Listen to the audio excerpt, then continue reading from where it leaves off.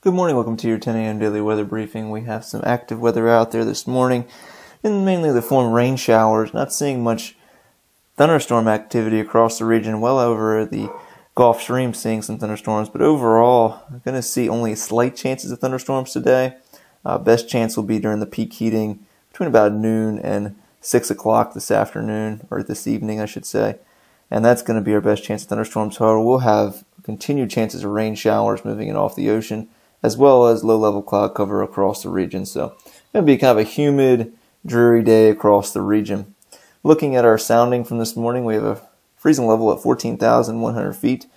Our winds are out of the east and the low levels becoming more southeasterly as we move up in the column. And fairly light overall, just seeing winds peaking near 20 knots at 1,000 feet as well as 20 and 25,000 feet. And those winds turn more out of the south at 20 and 25,000 feet this morning. Take a look at our current surface analysis. We have this boundary that's across the Gulf Stream into the coastal Carolinas. That's moving back, retrograding towards the Wallops region, as well as a stationary boundary well off to the west that's associated with a much colder air mass over the Rocky Mountains. Uh, it's going to not really make much progress towards our region. We'll be continued in this pattern with this boundary across the region and giving us daily chances of showers and Slight chances of thunderstorms overall, but chances look to increase for thunderstorms for Thursday and Friday and into the weekend. So taking a look at our current satellite imagery this morning, you can see we have a lot of cloud cover across the region, and that's going to be the case today. Going back in time here a little bit, you can see that cloud cover just kind of streaming in from the south into the upper level flow, uh, continuing over the region, and that's going to be the case for the remainder of today. Looking at our radar imagery, you can see we have some showers mainly off the west and to the north. Uh, seeing a little bit of that activity start to move in from the ocean. Uh, you can see here, zoom out, trying to see some of the shower activity move in from the ocean, but overall, it's going to continue to see spotty showers throughout the morning hours. Their best chances and more showers popping up this afternoon. Taking a look at the HRRR model and how that's going to play out for our weather today with the derived reflectivity. Here's noon and then 1400 local, 1600 local, 17, 1800 local. You can see not much activity, mainly confined off the west, but I do expect us to pick up some more rain showers moving in today. Moving in the overnight hours, uh, models, the high res models, including what the, the HRRR here, I should say, uh, is bringing in some showers off the ocean overnight.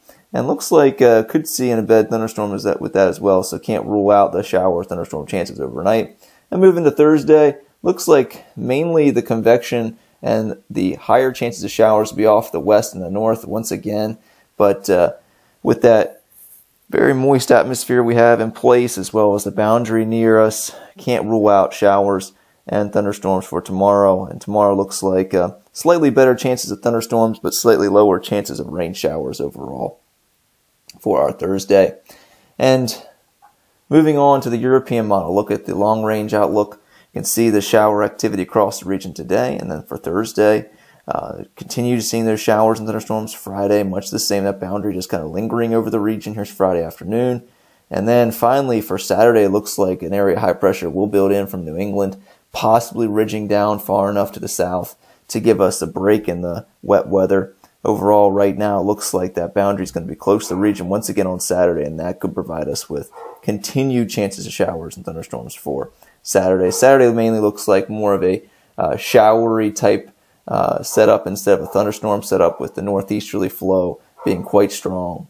And for Sunday, we'll see that boundary move back over the region as a warm front, giving us more humid conditions, warmer weather, and chances of showers and thunderstorms. And then for Monday, it looks like we'll see showers and thunderstorms across the region with the boundary moving through, mainly during the morning hours on Monday. Boundary has slowed up from yesterday, looked like yesterday, Boundary will move through on Sunday evening. Right now, it looks like it's Monday morning. So, could be seeing this boundary slow up and even provide us with showers and thunderstorms for Monday afternoon.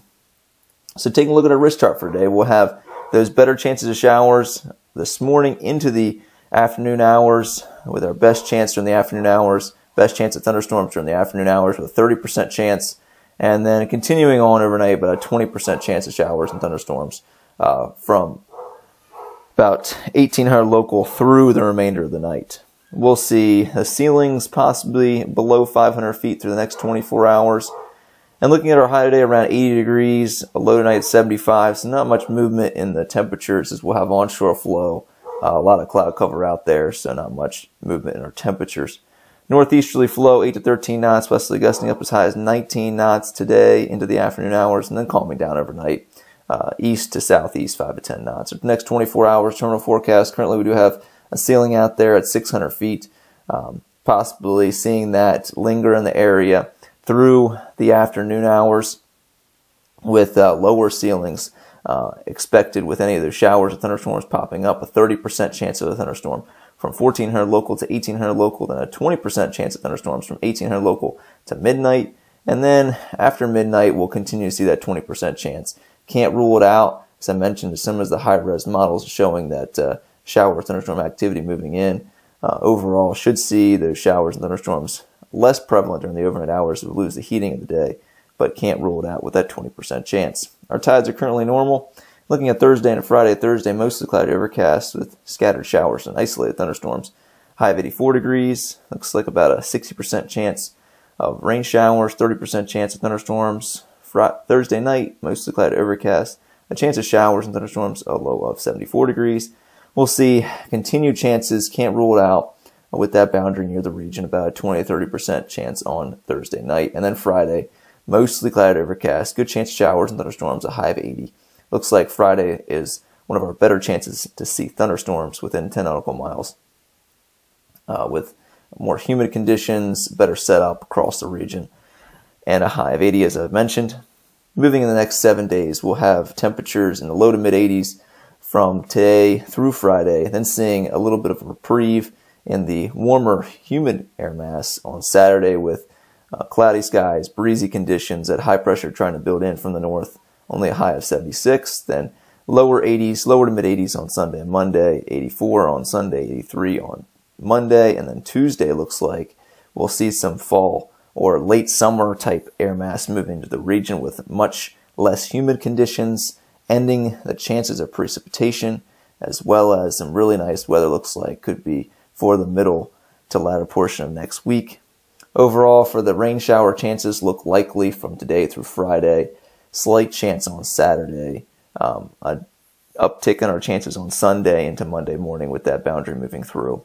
But overall, continued active weather pattern for the remainder of this week into the weekend, and then finally seeing possibly a break in the active weather for middle to latter portion of next week. Well, that's going to complete our 10 a.m. weather briefing. I hope everybody has a great day. back tomorrow morning, 8.15 at 10 a.m.